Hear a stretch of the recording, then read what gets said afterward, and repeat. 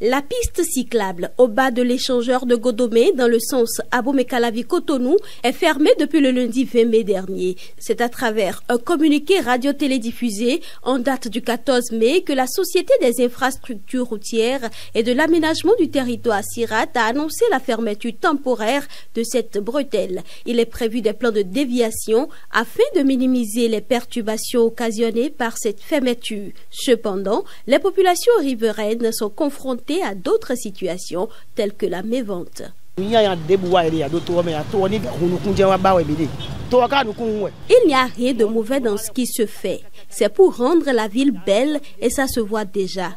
Mais les fermetures de voies en plein cœur de la ville et même devant les maisons ne facilitent pas notre mobilité.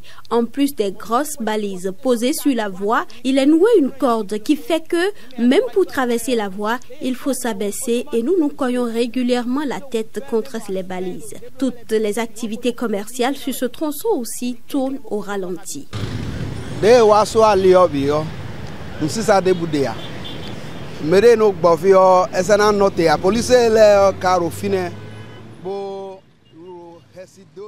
Depuis que la voie est fermée, nous ne vendons plus rien. Les policiers sont là et les gens ne peuvent pas garer pour acheter de peur d'être arrêtés. Le marché de Godomé est juste en face, mais impossible de traverser la voie pour y aller. Alors que, pour le moment, les travaux sont concentrés sous l'échangeur là-bas. Quand est-ce qu'ils vont finir là-bas et venir ici? Pendant ce temps, Comment allons-nous survivre et payer les loyers des boutiques et l'électricité Toutes ces charges sont là. Les riverains appellent les autorités au secours afin que le peine soit soulagée.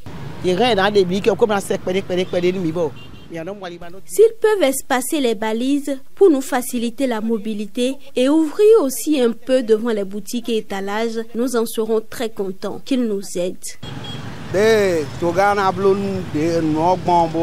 Que le chef de l'État voit ce qu'il peut faire pour nous soulager un peu. Ce serait bien, sinon ça ne va pas.